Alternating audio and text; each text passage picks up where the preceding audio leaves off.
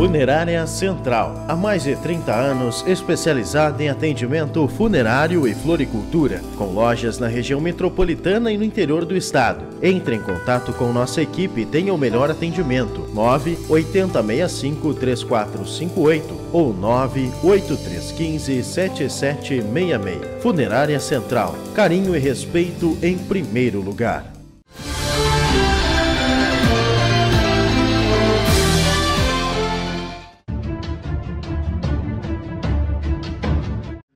Se há pessoas que lutam por moradia e lutam por terra no Brasil, isso não vai se resolver nem com lei e nem com violência.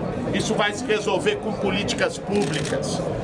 A forma de resolver, ou como eles dizem, de acabar com o MTST, é construir 7 milhões de casas para todos os sem teto desse país.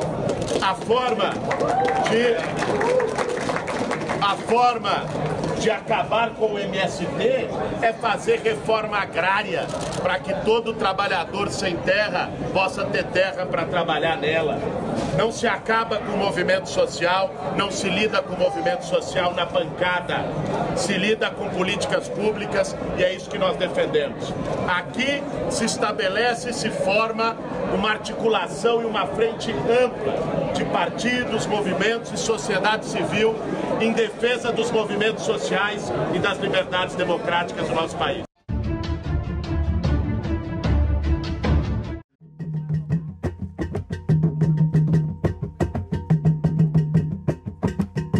Eu tenho duas meninas, uma de 19 uma de 6 anos.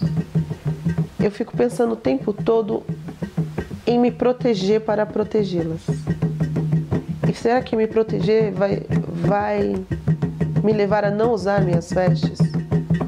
Para que eu não seja agredida? Tempos sombrios virão. A gente sabe que diante do, do, dos discursos, a gente vai ter muito enfrentamento. Mas candomblé, como eu disse para você lá no começo, candomblé sempre foi uma religião de resistência.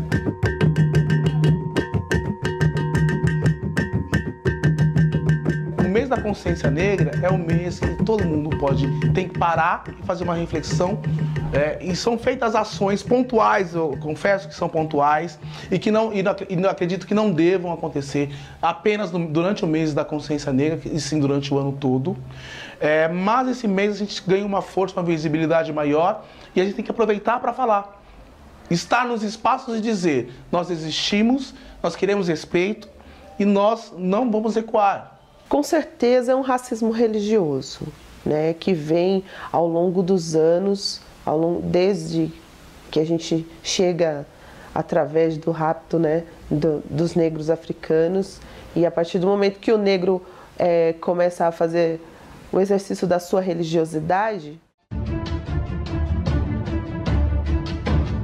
Passadas as eleições, chegou o momento de organizar a agenda do movimento sindical. Com essa finalidade, a Central Única dos Trabalhadores convidou o ex-ministro Celso Amorim para analisar a atual conjuntura com os principais dirigentes sindicais do Rio Grande do Sul a presença do Celso Amorim hoje, do chanceler Celso Amorim aqui no Rio Grande do Sul, chamado para essa reunião da executiva ampliada da CUT, tem esse objetivo de nos subsidiar de forma mais consistente com os elementos da conjuntura internacional e nacional para que nós possamos enfrentar esse período.